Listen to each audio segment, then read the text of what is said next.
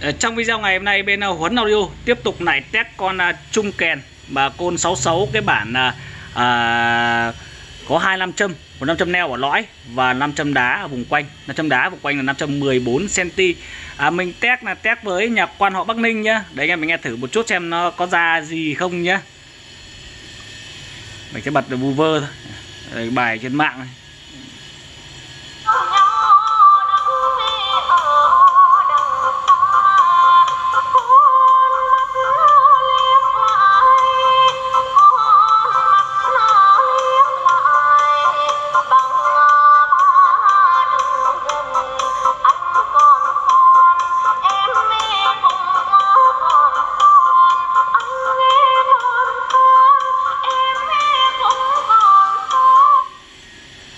Anh em nghe à, có ý kiến thế nào thì hãy bình luận ở dưới video này nhé với cái con trung kèn à, côn 66 này, trung kèn đại nhá, nó nặng khoảng tầm 3 kg một củ. Con này đang có mức giá bán cho một đôi là 2 triệu mốt, bao ship, tặng kèm phân tần và tặng kèm cả phễu luôn.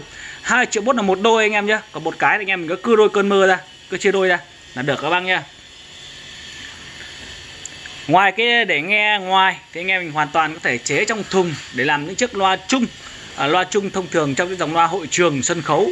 Rất là gấu với côn 66 mà. Anh em nhé chung kèn đại côn 66 anh em nào quan tâm về chế cháo liên hệ trực tiếp với Huấn Audio để được tư vấn và mua bán. Chào anh em nhé